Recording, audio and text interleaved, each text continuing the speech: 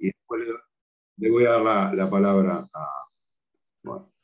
Bueno, eh, hoy en encuentros, en este espacio que hemos dado, dado en llamar encuentros sobre dramaturgia y puesta en escena, para teatro de títeres, podríamos extender para teatro de formas y figuras animadas, para teatro de objetos, para marionetas, etc. Los miles de palabras que tiene para designar este arte escénico.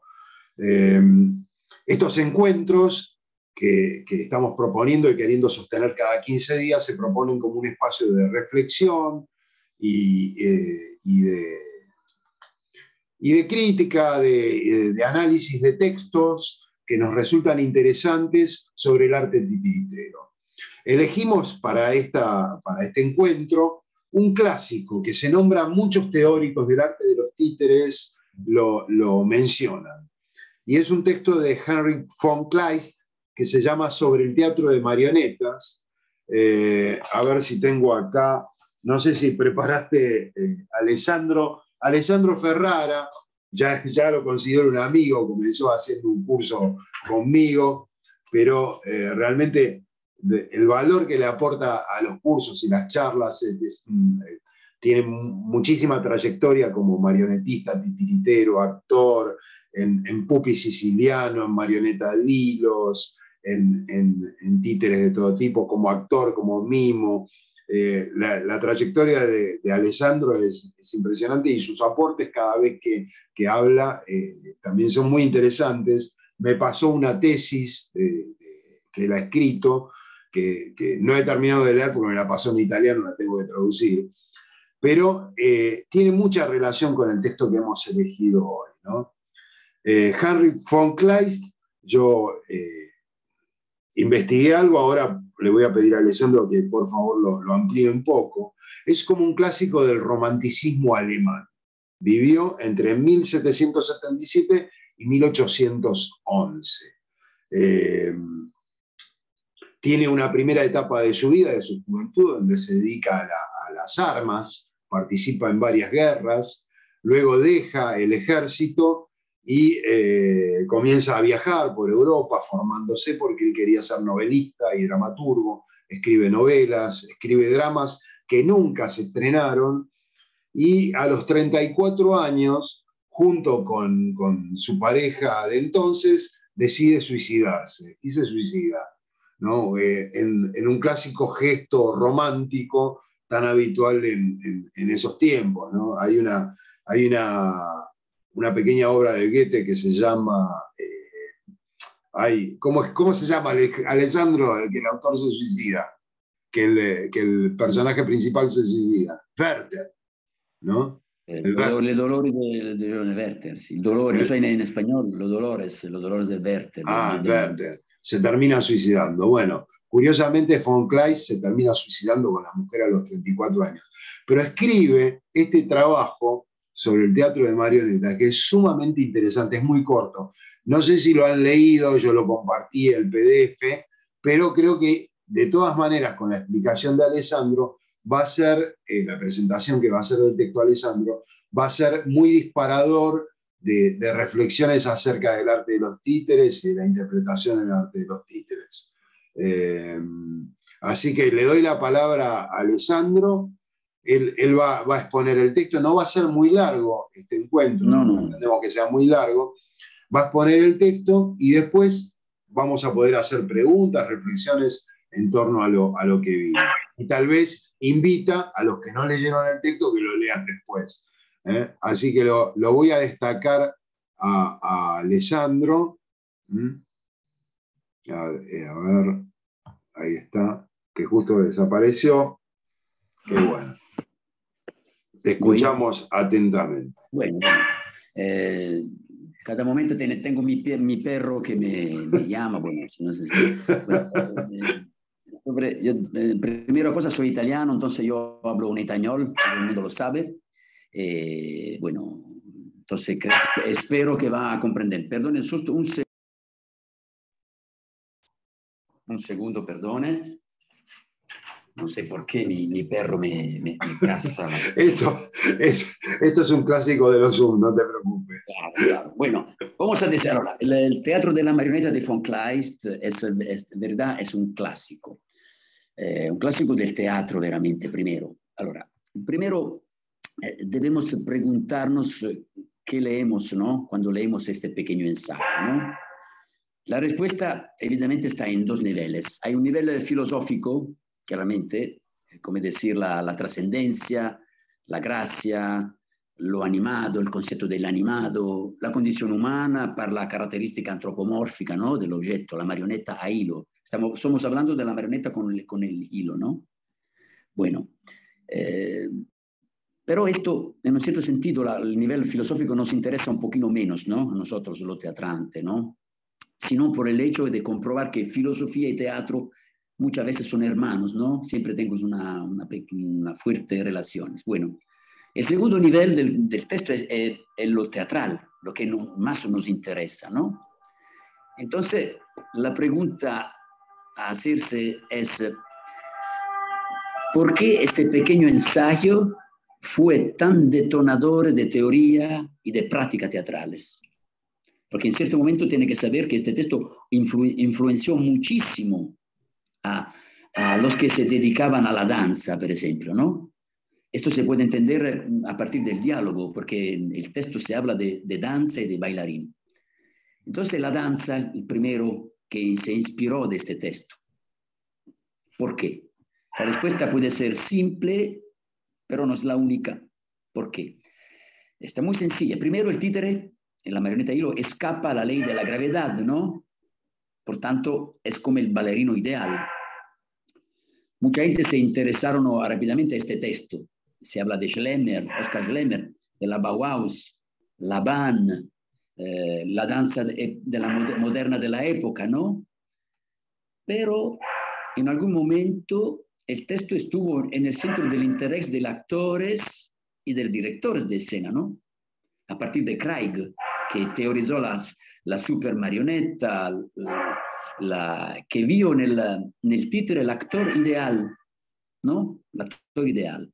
¿Me entiende cuando hablo español? Sí, sí, sí, sí, sí. Se está refiriendo a Arthur Gordon Craig, un, Craig, un, teórico muy importante de, exactamente, exactamente. Sí. Exactamente. Eh, pertanto, la primera, mh, primero paradojo è che Craig pensa che il títere es el actor ideal. Es un paradojo. Como decir que el teatro, que es la patria del ser humano, del ser humano eh, bueno, por, uh, por Craig, el ser humano no tiene, no tiene espacio en el teatro por ello, porque está, está demasiado humano. Es el títere que es el ver, verdadero artista, ¿no? La cadena creadora del teatro considera inútil el ser humano, ¿no? Es aquí que, es aquí que llegamos al, al meollo ¿no? del asunto, de la teoría. Eh, la teoría de, que dice von, de, de, von Kleist se puede, come dire, deduir del texto. La primera grande revolución de la práctica teatral fue eh, redescubrir el valor artístico de, de la pelvis, de, yo hago del hueso de la cadera, ¿no? Como se dice en español, de esa, perdón, me levanto, esa parte del cuerpo, esa parte del cuerpo. Lo llamo el pelvis, eso se puede entender, o el hueso de la cadera, ¿no? Bueno, eh, ¿por qué eso? Hasta el siglo XIX, el 800, el actor estaba, estaba se, no, tú eres un actor cuando tú trabajaba la mano y la cara. No se trabajaba el, hueso de la cadera. Ah, estaba solamente la pantomima blanca, ¿no? Todo el mundo, somos teatrantes, lo sabemos, ¿no? La pantomima blanca del fin del siglo del, del 800 estaba, estaba el ejemplo máximo, manos y cara. Entonces, cuando la raíz eh, creadora del teatro se convierte en, el, en la importancia del, de la pelvis, del hueso de la cadera, el títere se convierte en el actor ideal, porque el títere, la marioneta hilo, funciona para el hueso de la cadera. Y voy a explicarme mejor, espero. Sé como a decir que a partir del momento que, que artísticamente se considera importante el hueso de la cadera, comienza el teatro contemporáneo. Parece un paradojo, no sé si me entiendes. Sí, sí, sí, sí, sí, Hago, un paréntesis para, para contar que el texto comienza cuando él dice que se acerca a la plaza, para los que no lo llegan, a un parque público, donde se encuentra con un gran bailarín que, está observando un teatro de marionetas popular que se representa para la gente. ¿eh? Y, él, eh, y él asombrado de que este artista tan refinado le preste importancia a un divertimento popular, le pregunta por qué. Y él ahí le comienza a hablar de estos temas que está eh, poniendo. Eh, claro. Después, Llego, después llego a ese problema, porque no, no tengo ancora no mucho, pocas palabras ancora. Entonces, eh, nosotros a este periodo histórico mm, nos trovamos mm, de frente a, a, a, qué cosa? A la primacia, ¿no? La primacía del tronco, de la, de la, el hueso de la cadera, la primacía del tronco contra la primacía del volto, de la, de la cara y de la mano, ¿no? Entonces, todo el mundo del teatro cambia. Eh, hago una pequeña paréntesis. La, la, la, última vez, te acuerdas, hablábamos de la tradición, ¿no? Cuando se decía la tradición. Yo dije provocativamente que la tradición para mí, por ejemplo, no existe en un cierto sentido. Porque si consideramos la tradición como transmisión de textos, eso no es tradición, es repetición de textos. Entonces, en el arte del teatro, de toda la arte, nuestra, tiritero, bailador, lo que quiere, también Craig decía que el, el papá del dramaturgo eres el danzador, el bailarín, el pater, el pater del dramaturgo. Entonces, todo llega de la danza, todo llega del movimiento. Bueno, la única tradición para mí que se transmite es transmitir la práctica teatrales, pero no los clichés, los estereotipos, todo lo que está antes del repertorio. No sé si me entiende. Sí, sí, sí, sí. Esa, manera, de esa manera se puede decir que la verdadera tradición del actor es esta habilidad para manejar la pelvis, manejar el hueso de la cadera. En el caso del títere, del títere en general y también, también de la marioneta hilo, esto es muy evidente, porque para hacer caminar títere hay que trabajar sobre dos huesos de la cadera, la propia y la del títere. sí, cuando dice Alessandro el hueso de la cadera se está refiriendo al centro de gravedad, al tantien, al chi que hablan las artes marciales, que quedan dos dedos por debajo del ombligo sería una cosa Yo, perdona, me levanto la pelvis, eso, eso, la parte baja. Claro. Eso. en, el texto, si vosotros lo habéis leído, habla de eso. Bueno, voy a, voy a, voy a alegar, alegar la cosa. Entonces, se puede decir que la verdadera tradición del actor eh, es esta habilidad ¿no? de manejar la pelvis. Como decía, en el caso del títere, de la manera está muy evidente. Y después llego también a ti, Pablo, porque te demuestro cómo, cómo esa, esa cosa está presente también en tu arte que tú haces muchas veces.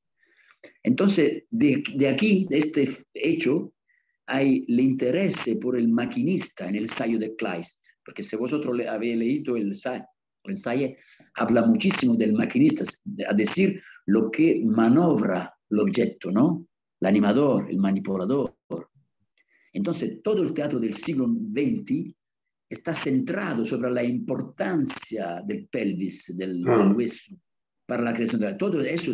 Todo. Entonces, para mí, la tradición comienza para nosotros al, al, empiezo del 900.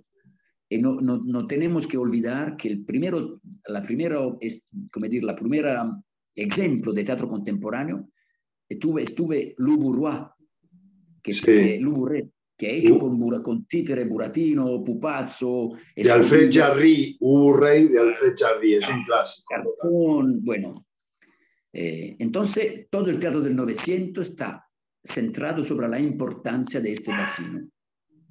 Dentro del teatro de marioneta de Kleist, habla de esta cosa dos siglos antes de que, de, que hablamos, no, un poquito, un poquito más, un siglo, un siglo y medio antes de la, como decir, de la, del comienzo de, esta, de este sentido, ¿no? Lo, mm, lo, que puede decir, termino aquí, después podemos hablar un poquito. También en Pablo, que ha, que ha mirado Pablo cuando trabaja, a ti, Pablo, cuando tú mm. haces, cuando tú haces el braseo por el títere. Ah, sí, el títere de guante, el buratino. Sí. De guante, claro. Para mí esa parte está un cuerpo total. Y si tú mm. notas, tu movimiento parte del bajo, como decir, parte de, la, parte de aquí, del, del, del hueso de la cadera. Porque si yo partiría de aquí, sería, uno, sería bueno, se puede hacer, es, un para, es una parodia, ¿no? Sí. Porque, no, no, cuenta del movimiento principal, que está esto. Entonces, cuando Kleist dice que el, primero, el primer impulso está el movimiento de la, del hueso de la cadera y después lo, resto, lo resto sigue, tú también haces esto. Hace primero eso y después sigue. Mm. Eso entonces, la, teoría de Kleist está prácticamente aplicada a todo el teatro de, de, de, títere. Está una cosa tan sencilla y tan trabajada que no todo, no todos los titiriteros lo, lo, hagan, lo saben hacer. Pero este es el fulcro, esta está la raíz de, esto, de esta análisis que Kleist hace. Esta análisis antes muy revolucionaria por la época, porque en la época había la primacia del volto y de la cara. Y tampoco, tampoco la, la, danza clásica tiene, no tiene mucho trabajo de pelvis, porque la danza clásica sabemos, está braceo, pata, braceo muy rígido. Mm. Ha hecho un momento que se liberó de eso por, por, por movimentar el, el pelvis. Y nació la Duncan, la Graham, la Marta Graham, todo, todo, lo que, todo lo que siguió pero siempre a partir del movimiento principal del bacino, del, del hueso de la cadera. Y que es lo que ha teorizado Kleist cuando habla expresamente de eso, de ese movimiento que el maquinista tiene que imprimir, tiene que, como decir, lo pregunta en el texto, dice, pero el maquinista tiene que ser danzador, bailadino, por, por, por hacer funcionar la marioneta, hace la pregunta.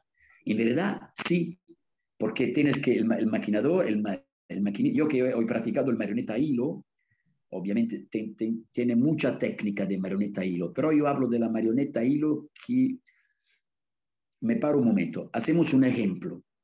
Todo, no importa, no importa cuál tiritero puede mm, mover, puede prender un, eh, tomar una marioneta y la hago, puede hacerla mover, pero se está firma, si no marcha. El problema está cuando la marioneta la tiene que marchar, tiene que caminar, como se dice en español. Sí, sí, caminar. Sí. Es el momento de la arte máxima de la marioneta hilo, porque tiene que hacer caminar dos cuerpos, el cuerpo de, la marioneta y tu cuerpo que tienes que, tiene que prender una, una, una, forma, una manera que está muy cerca del katakal indiano, que no, no, tenemos que olvidar que la marioneta viene de, llega de India, ¿eh? La primera marioneta llega de India. Y la primera forma de, de, decir, de bloquear la marioneta es una posición un poquito entre el arlequino de la comedia del arte y el Bharatanatyam de indiano. Eso es la mm. posición de estabilidad por el, por el, por el manipulador de marioneta a hilo. Pero eso está, la, la, decir, en la visión en, en, macro, ¿no? La máxima. Pero repito que también en el tiritero como hace Pablo, el gran arte que tiene Pablo, eso en manera homeopática, en manera de miniatura, como se dice en miniatura, es lo mismo. Está exactamente la misma condición de práctica teatral que viene de lo antiguo. Eh, eh, esa, es, esa es la tradición, no el repertorio. Esa práctica que permite desarrollar texto, pero este antes, viene antes del texto. Primero hay la práctica. No sé, termino, termino, mi excusa, puede ser muy largo, no sé. No, no, no, perfecto. Ejemplo, hay un ejemplo clásico. Eh, si vosotros conocéis, por ejemplo, hay un texto indiano que se habla de 3.000 años atrás, el Natya Sastra, donde se habla, donde es un texto que viene, viene antes de Aristóteles, de la poética de Aristóteles sobre la, la tragedia, y habla exclusivamente de la técnica teatral, de la práctica teatral. Estamos hablando de 3.000 años atrás. Es una, un tratado, de, se llama Natya Sastra, se puede, se puede, eh, sí, busca. puede comprender cómo la, la escritura escénica, como la práctica teatral, no hay nada que ver con la producción de textos. Entonces, Kleist que estaba un, un tío bastante inteligente y muy intuitivo, mirando la marioneta, traído, como decir, un principio general del teatro occidental, si, quiero, porque nosotros no tenemos la tradición del oriental. Eh, no la tenemos, no la tenemos. Tenemos texto, bueno, tenemos palabra, claro, pero no tenemos tradición de práctica teatral. De la práctica, ¿qué, qué práctica hablo? Hablo de la práctica de la pelvis, la práctica del hueso de la cadera, la práctica del centro de gravedad, que, hay, que es el primer movimiento por causar otro movimiento. Entonces, repito el ejemplo de Pablo, la su mano, repito, todo, se puede hacer todo, ¿eh? todo es permiso, claramente, todo es permiso, pero tienes que, de, que desarrollar los ojos, ¿no? saber, saber qué guarda, qué, qué, qué hago, perdone, qué miro, qué, qué voy mirando cuando miro un titiritero, cuando miro un qué miro, miro la raíz del movimiento o miro, como decir, la consecuencia del movimiento. La mayoría de la gente mira la consecuencia. Hay alguien, no mucho, que miran la raíz del movimiento, de lo que va a producir. Y si tú llegas siempre, como decía Brecht, siempre llegas a tus pasos, llegas siempre antes, tú siempre pruebas la carretera correcta, ¿no? Para producir, para crear tu discurso, siempre porque está la, la realidad de del acto teatral. Eso. Y Kleist dice esto. Es la razón por la que él tiene, ha ha sido un, un texto tan teórico y todo el mundo trabajó sobre eso, todo el mundo.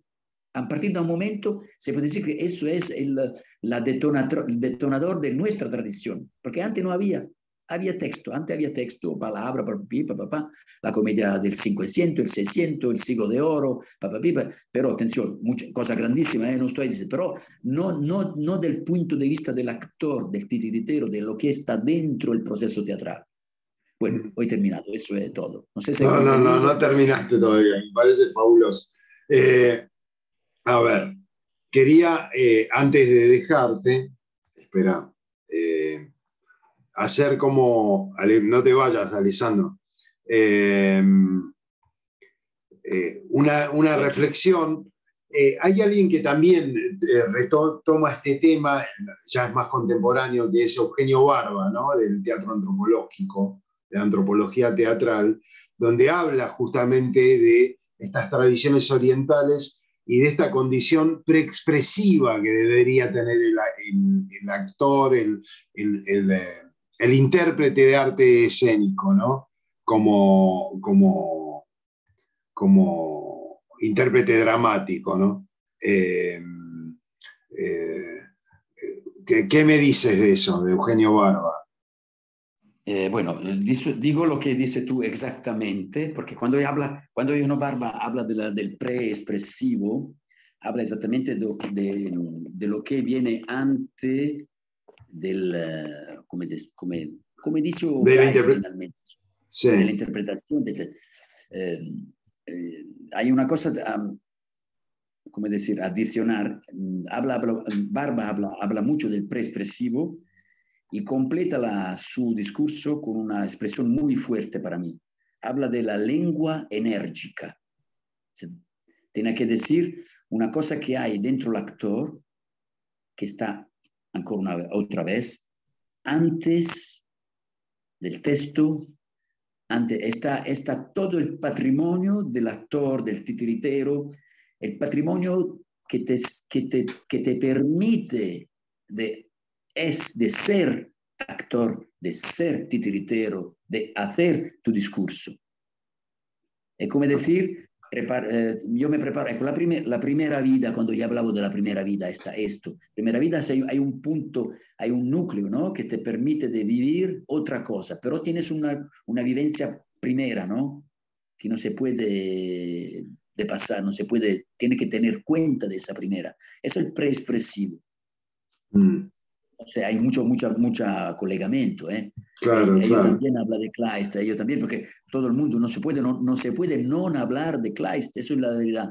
Bueno, es, hoy el tiempo es pasado, mucho, le, mucho, el siglo es pasado, hay muchas cosas, pero siempre está bien.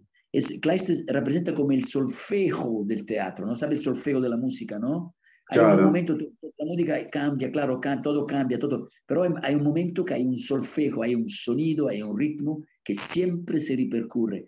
Y si tú vuelves a eso, puedes siempre renovar tu creación, porque está el fondo. Es maravilloso.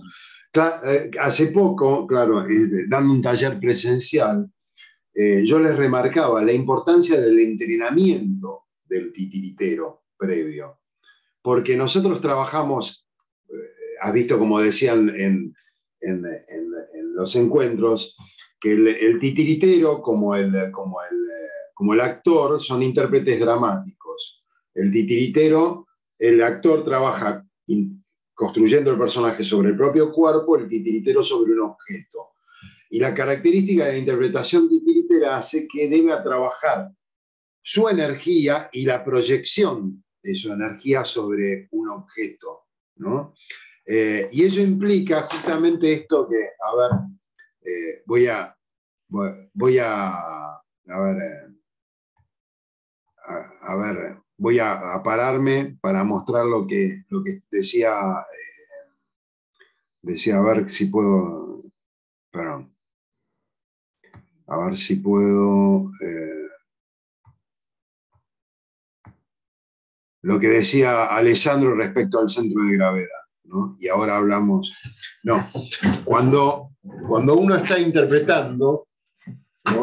Eh, yo vi, muchas veces que los marionetistas, un marionetista decía, Stephen Mottram, un marionetista inglés, hablaba de la posición del mono, ¿no? de pararse así, con los pies en paralelos y bien, bien atendiendo bien a este centro de gravedad. También vi que los buenos eh, titiriteros de guante trabajaban con esta parada para poder conectar este centro de gravedad con el centro de gravedad del títere, que está acá arriba, ¿no? que es la manera de que la energía fluya, fluya desde el propio cuerpo y se conecte con el centro de gravedad de- de- del títere. Leyendo el, el- texto de Kleist y, eh, y escuchando a Alessandro, como que baja algo muy importante en la interpretación titiritera. ¿No? Y, eh, a ver, eh, Alessandro, ¿estás ahí con todavía? ¿Dónde estás, Alessandro? Siempre, estoy aquí, aquí. Estoy aquí, Bueno, aquí, bueno. Eh, y, y se conectaba un poco también con lo que decía eh, Bernd O- Ogrognik, que es un marionetista islandés que hace poco dio unos webinars, que él es practicante de artes marciales. Y hablaba justamente también de eso, de que el marionetista o el titiritero, para cualquiera de las técnicas, debe trabajar su centro de gravedad y la manera de proyectar esa energía hacia el centro de gravedad de la figura del objeto que está manejando. ¿no? Para, eh, así que cuando uno, como dice Alessandro, cuando uno toma conciencia de eso, cualquier eh, práctica de interpretación titiritera se vuelve como maestra de, vida. ¿no? es así, es, fabuloso, de conciencia corporal propia, de conciencia de, Se parece a un arte marcial, un arte marcial con, con- con- espadas, con objetos, eh, y pega un salto la interpretación titiritera muy fuerte cuando se trabaja desde ese lugar. Eh, bueno, Alessandro, ¿algo para, para- para decir sobre esto o agregar antes de que abramos la... No, creo que, está dicho mucho, se puede, si no vamos a monopolizar la atención, no creo. Se puede, solamente una cosa, lo que dice de la proyección eh, está exactamente lo que necesita por el marioneta hilo, porque hay una técnica que te permite de proyectar el movimiento sin hacer mucho movimiento. Se ¿Cómo sería? A ver. eh, come decir, eh, no sé si se nota, perdona, me levanto. Se, sí, sí, sí, espera que, la primera, que te, la primera te- técnica de la, la primera técnica de la marioneta tiene cuatro movimientos fundamentales. Hay la base, tiene que, el movimiento de la, el, el braceo está como el Bharatanatyam indiano, que tienes que, hay una barra aquí en la marioneta Hilo, una barra que tiene una forma de T, porque tiene aquí, hay, hay un movimiento entre eso y eso, porque por, por- para, para mover la, la pata y la- el braceo en oposición, eh, braceo derecho y pata de, de izquierda, derecho e izquierda, derecho e izquierda, pero eso es como decir el movimiento completo. Pero hay un momento, si tiene práctica, que tú puedes hacer solamente lo mismo movimiento, solamente haciendo esto.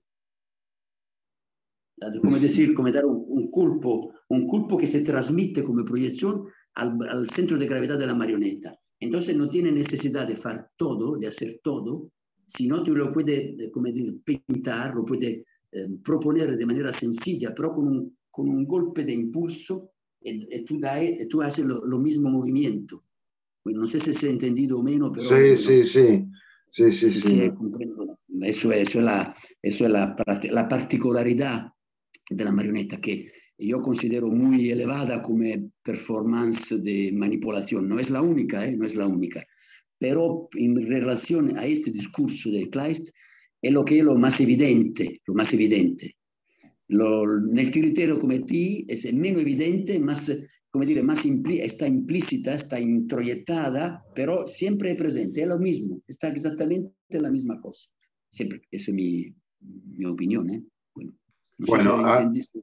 Sí, yo, para mí me, me, me, parece fascinante estas reflexiones. No sé, abro, acá hay, hay, hay gente que, que, se está iniciando, por lo que dijo, hay gente que tiene experiencia. Abro y hay, y hay titiriteros.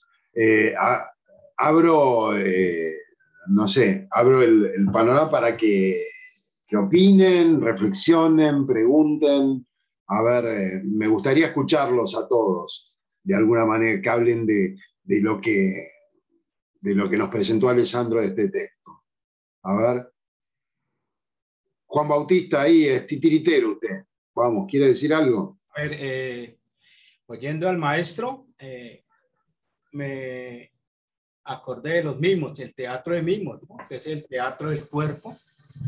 Y sobre los ejercicios, la pelvis juega un papel muy importante, el movimiento de la cadera. Incluso va ascendiendo hasta los hombros y después el brazo. Eh, esa parte es fundamental. Eh, yo la trabajo mucho con los niños en la expresión corporal, el movimiento de la cadera, ejercicios como el juego, eh, mucho desplazamiento. Y sobre eso trabajo mucho con los chicos de, de las veredas, ¿no? El trabajo de explorar el espacio, el juego, las muecas, el movimiento para que después trasladen eso al títere. Básicamente me acordé mucho de, de la cadera, de lo que dice el maestro Alexandro. Y mm. es eso. Bien. A ver, ¿quién más? ¿Alguien más que quiera aportar? Cecilia, de tu experiencia como titiritera de guante, ¿eh? ¿qué tenés para decir?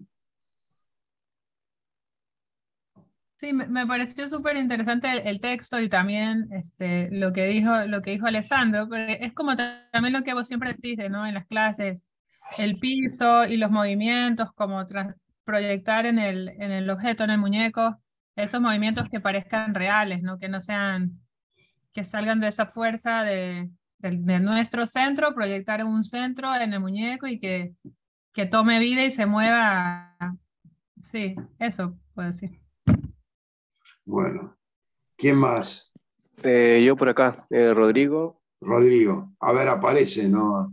Está ah, sin espera. cámara, o si, si puedes aparecer. Espérate. Ahí estoy. Ahí estás. Rodrigo, ¿de dónde eres? Soy de Chile, actualmente estoy viviendo en Alemania.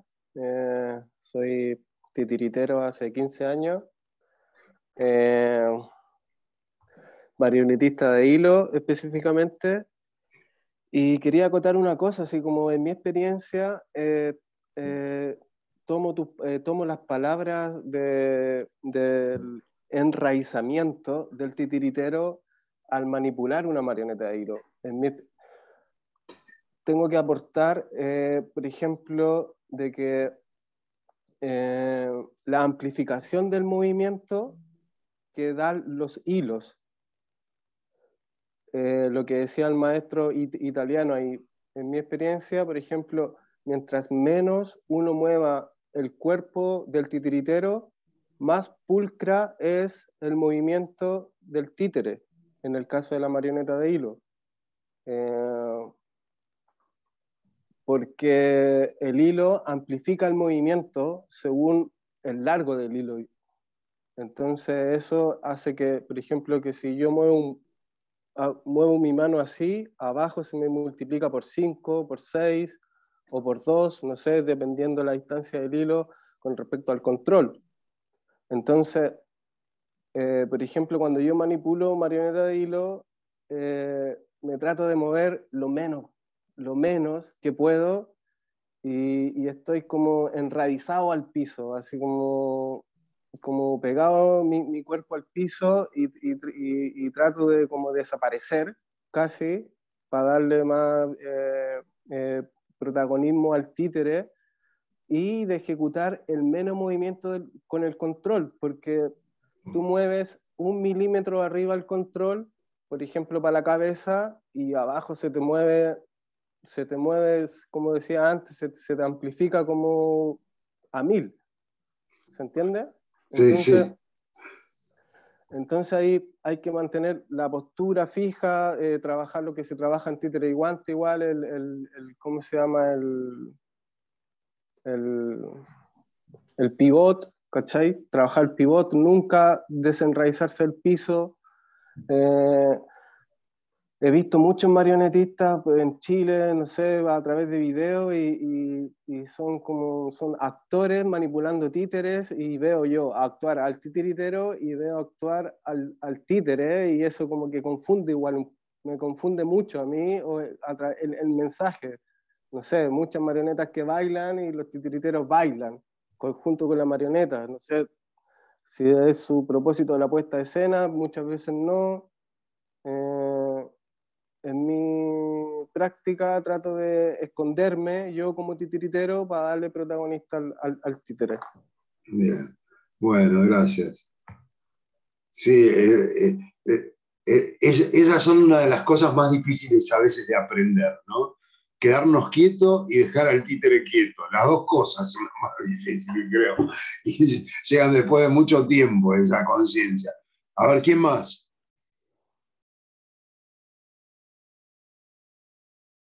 No vamos a forzar esto. A ver, eh, eh, Katia, a ver, a ver alguna de las actividades. Viri, Viri, Viridiana, vamos. Sí, bueno, pensando en todo esto, yo manejé títere de hilo, marioneta, ah, durante más o menos 10 años y tengo ya un rato experimentando con los títeres de mesa. Entonces noto que el principio básico sí es el mismo, por lo menos en esas dos técnicas. Este, el centro de gravedad es el centro de todo el movimiento. Entonces, ahorita precisamente estoy investigando la construcción de un títere que se pare solo, pero sin perder este, movilidad. Y sí, todo el secreto está en lograr un buen centro de gravedad, mm. porque es lo que le da vida a todo el movimiento, ¿no? Eh, no he tenido así como, no he estado tan problematizada con el movimiento del manipulador sobre el títere porque normalmente trabajo, trabajo con teatrino, entonces trabajo completamente fuera de vista, pero sí noto que el pivote, más que neutralizarte como actor, te da libertad como manipulador. Mm. Sobre el espacio que estés trabajando es muchísimo más fácil cuando estás parado con un buen centro de gravedad como ser humano y a partir de ahí empezar a mover brazos y pecho para mover el objeto. Mm. Sí, me, parece bastante clarificador cómo funciona a partir del texto, ¿no? Y mm. de la conversación. Bueno, ¿quién más? ¿Me permites, Pablo? Dale, dale. Sí, eh, yo creo que el hecho de enfocar al centro de gravedad del ser humano como el centro para hacer todos los movimientos, creo que es eh, de, vital importancia, ¿no? Creo que todo artista, eh, inclusive no solamente en el tema de, los títeres en sus diferentes formas, sino inclusive en el payaso, inclusive en el equilibrista, en el malabarista, el, el centro del ser humano eh, es vital. Esto nos da paso, digamos, a poder darle vida y concuerdo con lo que decía mi anterior compañera, que en el caso cuando utilizamos un teatril, estar parado debidamente bien ubicados con el centro de gravedad eh, hace que se ahorre más energía e inclusive a partir de aquello se transmita también al objeto inanimado, en este caso al títere, esa misma forma de mm, ver el tema del centro como el inicio para hacer ya las otras posiciones de poder, ¿verdad? Eh, eh, para empujar con la cabecita, eh, empujar con la nariz, con el mentón, con los hombritos, con el estómago y de repente en los títeres también con la parte media entre la piel, entre el pie y, y la cadera. Entonces, eso hace que, digamos, podamos transmitir las diferentes emociones y sensaciones que el actor utilizando su cuerpo lo hace más fácil, pero para el titiritero se le complica porque tenemos que dar vida a un objeto inanimado. Y a partir de ti puedes reflejar y darle vida a ese objeto inanimado a partir de tu punto vital que es el centro, ¿verdad? Creo que, es, eh, creo que lo ha tocado muy, muy muy maravillosamente nuestro colega y la verdad, muchísimas gracias. ¿no? Siempre nos hace recuerdo que a partir del punto de gravedad, como decía, ¿cuál es la mitad de uno? El ombligo. a partir de aquello se puede lograr dar vida a los objetos inanimados, en este caso al títere. Bien. ¿Alguien más? Me gustaría acotar otra cosa a mí. A ver, Rodrigo. Pablo. Dale tú hablabas de, eh, de, Motram, ¿cierto? Él, sí. Él, él recalca mucho el tema de, de la observación de lo, de lo, que nosotros queremos animar. Por ejemplo, eh, un ser humano. Y yo eh, tuve el, tomé un taller con él y él nos decía, todo el, todo el tiempo nos decía, observen cómo camina un ser humano.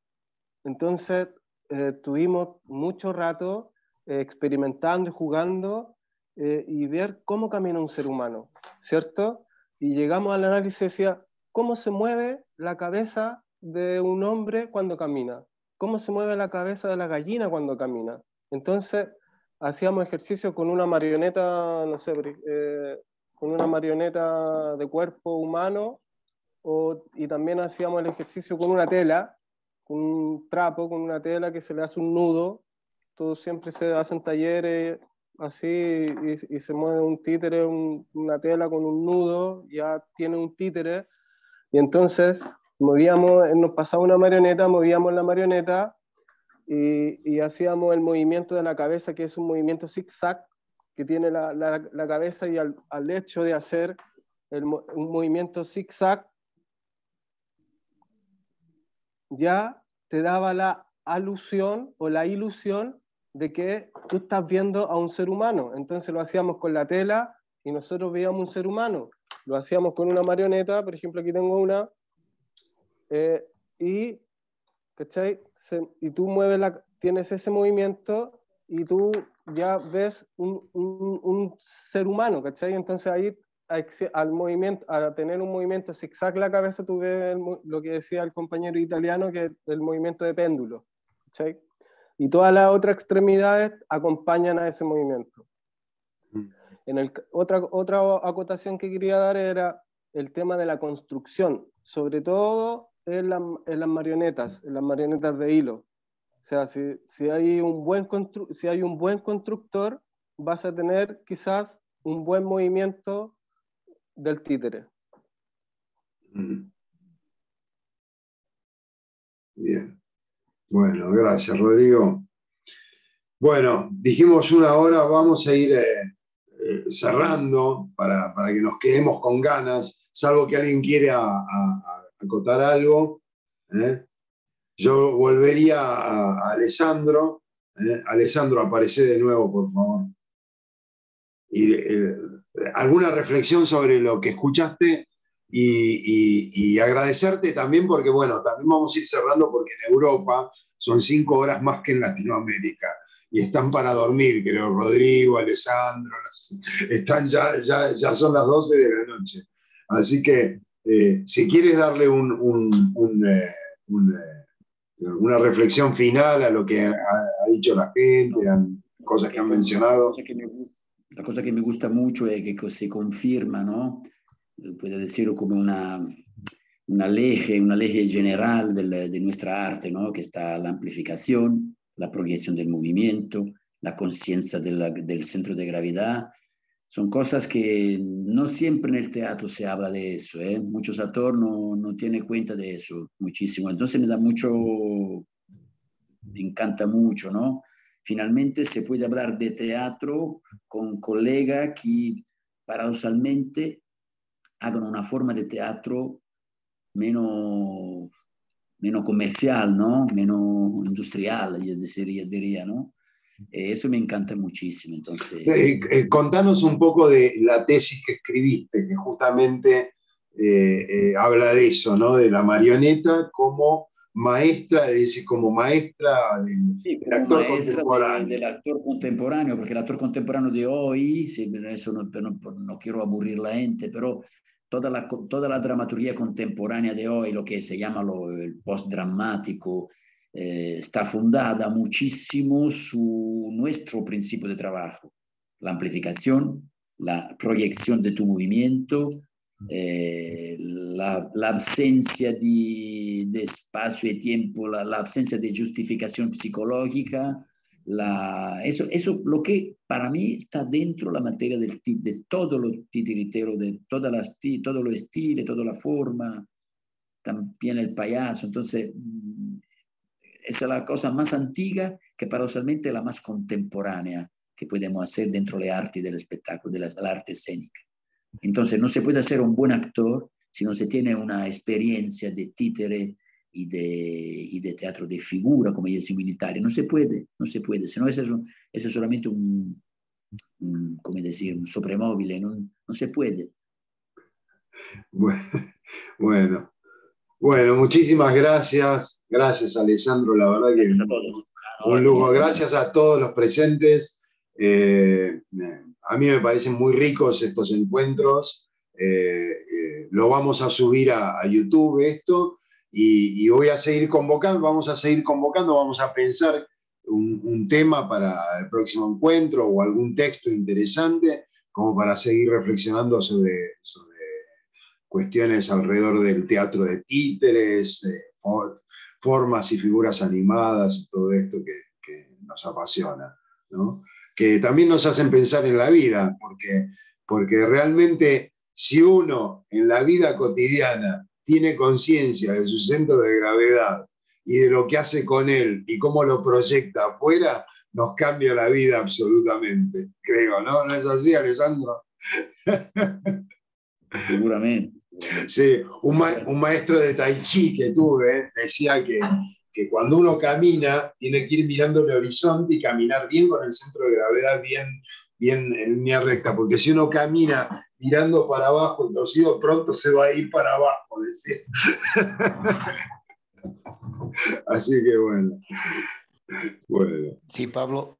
Sí. Pero, pero hasta en el deporte, ¿no? Si no, primero este, fortificas eh, tu, parte media, este, lo otro que trabajes no va a ser importante. O sea, creo que en la vida misma el centro de gravedad es muy importante, ¿no?